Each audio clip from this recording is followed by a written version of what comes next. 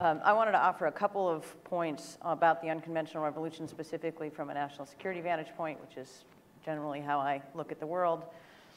Um, I think in the broadest sense, it's very difficult to draw a straight line between the unconventional revolution and specific national security implications, at least to date. But it does raise a number of interesting questions and potential challenges.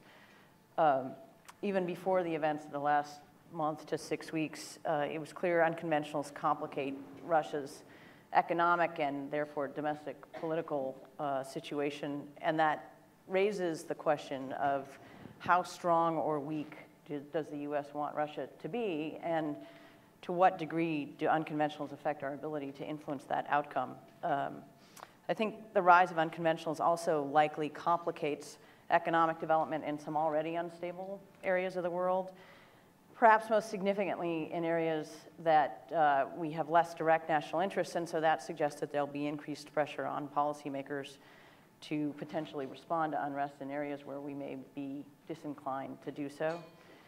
Um, as the study points out, the shale gale does not fundamentally change our national interests, but it has made people both domestically and overseas uh, believe that our interests are different or will become different in the future, which has in turn created a significant challenge for US policymakers. Um, from a purely defense perspective, I think broadly speaking, the unconventional revolution is consistent with the policy of Asian rebalance, but the competitiveness problems that it poses for uh, Europe suggests that European countries will continue to face greater economic strains or great economic strains, and that in turn will affect their military capabilities and capacity. Um, and unconventionals do little to affect the, uh, alleviate existing strains in the Middle East and North Africa. Um, finally, some have asked whether American unconventional riches uh, should affect the Defense Department's thinking about the need for um, greater uh, energy efficiency and uh, pursuit of alternative energy supply sources. Um, the, the biggest imperative for that policy priority obviously lies in the challenges of logistics and ensuring uh, vulnerable long supply lines, which domestic supply does little to uh, influence. So that challenge remains. But uh, those are just a few of my broad thoughts about some of the work we've done over the last year. I want to turn it over to Sarah for some additional things and then hopefully have time for some brief questions before moving on to the rest of the program. Yeah, thanks, Maren. And uh, so, you know, one of the things we thought we would do in sort of batting cleanup after our presentation is, is sort of uh, respond to some of the, the, the, the, comments that we sort of, you know, didn't get to put into our, sort of our presentation, but we do think are really important and, is, uh, and are very much highlighted in a lot of the rest of the work. Um, and, you know, the first is, you know, not to sort of dampen our own, uh, our own parade here, but I think at the outset of this project, lots of folks thought that unconventional oil and gas, both in terms of its impact on the energy space, which is definitely hugely impactful, would have a very similar sort of impact on the geopolitical and national security space. And we found that, you know, while, while a lot of what's happening in the energy space is very important, it isn't having sort of overwhelming impacts, right? There's no region of the world where it has fundamentally upended sort of the geopolitical dynamics that were already there. But what has happened is that it's a very concrete, interesting, and unexpected vector that has come into a very geopolitically fluid environment where people are looking for structure, they're weighing, you know, and balancing relative power one, one against one another. And so we found through all of the regional studies that we did and the work we were doing with a lot of our colleagues, which was very challenging for me because I'm more an energy wonk than, uh, than, a, than a foreign policy person, um, that people were sort of clinging to energy as evidence of something changing. And, and really sort of asking that question about whether something was changing. And, and in this kind of environment, that was a, that's a very important thing, right? And so uh, we found even in places where we could ex readily explain why the energy balance really hadn't shifted too dramatically, um, in geopolitical terms, in perception terms, that it was very important in sort of reshaping people's thinking. And so um, that's something that for me is sort of one of the main sort of takeaways of this study. The second, and now I will be sort of an energy uh, uh, wonk of sorts, is you know, oil is different from gas. And a lot of the reports that we looked at that sort of did this, you know, look at, you know, what happens with, uh, with the, the onset of tight oil uh, uh, production and, um, and shale gas production, uh, looked at one or the other and, and, and, sort of applied a geopolitical lens to one or the other. These are very different resource trends, uh, and they're working on different timelines and, and sort of, you know, uh, geophysically, they're different things as well, but geopolitically, they're also different things. And so we spend a good bit of time in the report trying to talk a little bit about how gas is different in oil and then what that actually means uh, for the potential geopolitical implications. Uh, and then finally, you know, I think that uh, it's probably accentuated because of, as Maren said, the discussion that we're having about, you know, the, the Ukraine crisis and what's happening uh, with, with the United States relationship with Russia. Um, we're getting lots of questions, again, about you know, whether this surge in, in U.S. Uh, uh, gas production can be used as a tool of foreign policy in our current uh, uh situation. Um, and, and, and as a result, we basically, in, in, the, in the report, argue that you know, energy is not a very well directable tool of foreign policy, and you're very likely to overplay your hand if you try and use it as such. But it is a fundamental tenet of energy security, which you, when you think about sort of international structures, free and fair and functioning markets is one of the things that could lead to a great deal more stability. And so um, we, we think that, that we're not trying to be critical of, uh, of the administration or Congress or anybody else, and, and we think it's a very valid point that, you know, this is an energy revolution that has happened in the United States over a very short period of time. We are absorbing what it means and trying to construct a policy response, but that takes time as well. And we think that that's a, you know, also a very sort of important point as we sort of talk about what we should or shouldn't be doing sort of in the, in the current day uh, context. So um, if I could just offer, offer one last point uh, that I think is important.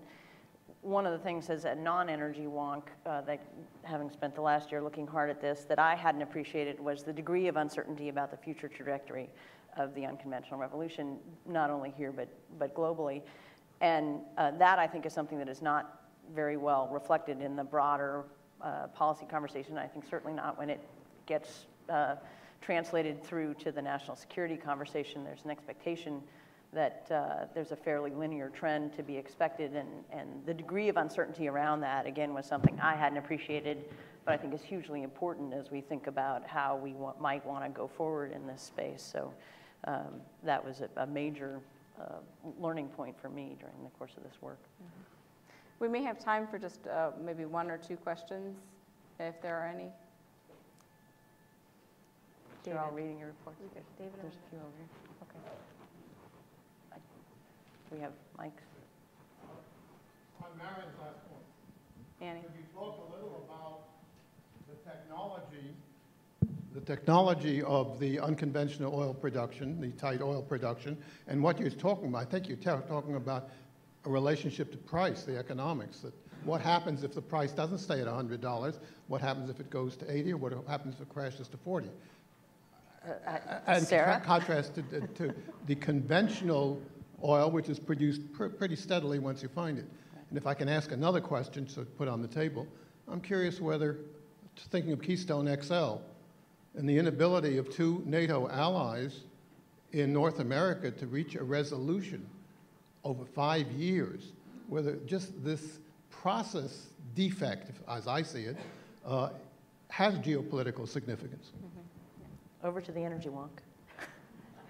We talk a bunch about uh, about sort of um, price and sort of technology evolution within the unconventional space. Again, I think this is one of those areas where we're learning about the cost curve, improving efficiency, improving recovery rates, all that kind of stuff. And we've, you know, separately and apart from this study, we've done other studies that are looking just at the resource base, the producibility, the economics of it. And, you know, we did a study two years ago. It's out of date today, right? I mean, it's moving so fast and people are doing things in different ways and the economics are changing. And so that's a, it's a, it's sort of a day-to-day, you know, exercise on, on, on that question. Um, I do think there is a lot of confidence that we've got a lot of gas. It is producible at, you know, uh, at, at, a, at, a, very reasonable price threshold. Um, the question for us is, you know, the learning curve on tight oil is, is a little bit further behind than it is on, uh, on shale gas. And all I can say is we, we're certainly revising upward those estimates every single year, just like we did uh, shale gas, though it looks like it might be a little bit, you know, more complicated to get out of the ground. It's a, it's a somewhat technical discussion. The, the place where there's, you know, uh, ample amounts of uncertainty is in other countries around the world that also have, you know, this resource base, and, and quite frankly, other countries that have conventional resource bases that they weren't producing in the most economically optimist, optimal way right? And so, so how countries respond and what they do with their own resource base and what they're capable of doing is a huge question. Uh, on the Keystone one, we didn't take it on directly, uh, only because, uh, from my vantage point, we're talking about it all the time. Um, what I would say, though, is there are lots of sound arguments uh, that, that we make that, that talk about, you know, where security comes from, energy security comes from for the United States, and it has a lot to do with being able to get uh, infrastructure permitted in a timely fashion, being able to spend money, uh, investing in projects so they come online on time when you're going to need them. Um, and, and we also say that you know, the unconventional revolution doesn't solve the climate change crisis, which quite frankly, uh, you know, there's a view that most of the, what's holding us up on sort of the Keystone XL question is a climate change question. So unconventionals doesn't solve that for us either, so it probably doesn't solve that sort of, you know, uh, very narrow debate. Uh, uh, We got a couple over here.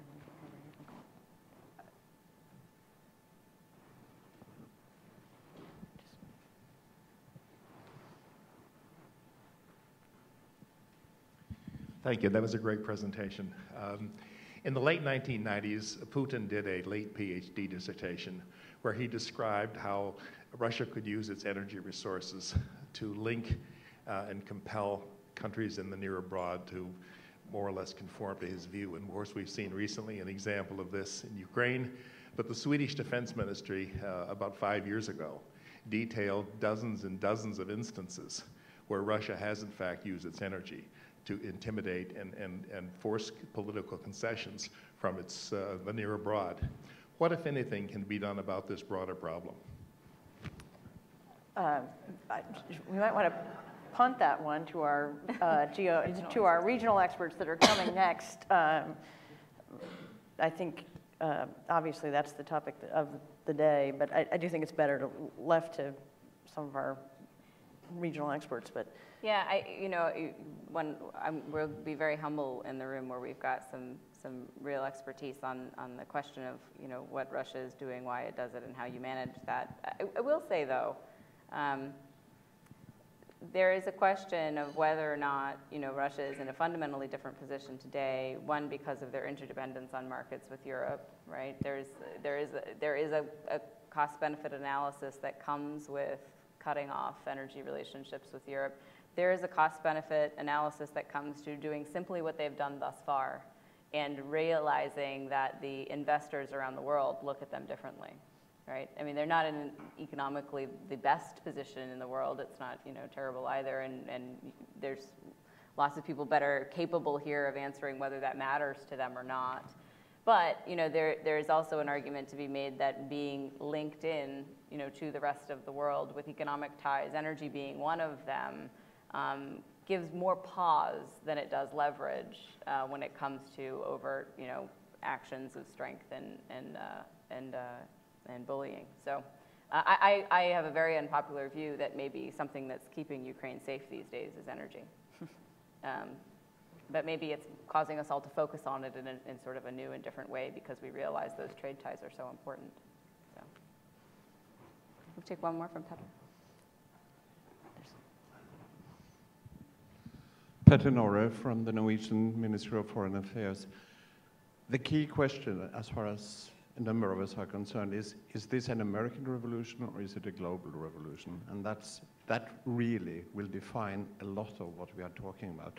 Sarah was actually touching on this, but to what extent have you, has your study really gone into this particular issue? Because suddenly, if you have a shale revolution or in, in China, suddenly the parameters of Chinese foreign policy will change pretty dramatically as, as one possible consequence, and there are lots of others. Can you comment on this briefly, please? Yeah, we actually, and this is a, thank you. That was a very good uh, opportunity for me to thank uh, another person in particular, Tatiana Mitrova from the Russian Academies of Science, who uh, very graciously allowed us to utilize some scenario planning that she had done on different scenarios, what would happen if there was a shale gas, it was more unconventionals, which is a broader term, but an unconventional breakthrough or failure around the world or a status quo position, right? And what it allowed us to do was not really dive into the question of who's going to produce how much, how fast, and those kinds of things. There's very good studies, um, basin by basin studies that people are sort of looking at and uh, that, that do that. However, what it did allow us to do is have some scenarios to play with that looked at what the geopolitical implications would be if you were very, very optimistic or you were, you know, not necessarily as optimistic. And we thought, you know, you know, by far and away, the country that sort of benefits from a geostrategic standpoint the most is the United States obviously, right? Because it, you know, in those situations, we look like we are, you know, to be advantaged from our other, you know, the position we were previously in. In a failure scenario, we sort of looked uh, like we were, we were back in sort of a tough spot. Um, China does well in, in, in, uh, in sort of the high case scenarios as well. It's not a game changer for their foreign policy, though, right? I mean, when you look at their trajectory of energy demand going forward, more supply of any one source is a great thing but it isn't necessarily a game changer, right? And so, but it does sort of matter, sort of, you know, how these things happen and which country they happen first, and, and whether it's oil versus gas and things like that. So there are, we do go through that to a, a great deal of detail in uh, in the report. But did you want to? I, I would just add that I think one of the other things that was important in terms of how this is reflected today is again getting back to this point of uncertainty. It's and uh, interestingly, most of the implications I would, I would characterize, most of the implications to date have not so much been based in the reality of the unconventional revolution to date, but about expectations about what's to come in the future. And those uh, opinions are so diverse, uh, that's what's in large part fueling some of the additional uncertainty. Um, and so people can pick their scenario based on whatever data they choose to, to think is most relevant.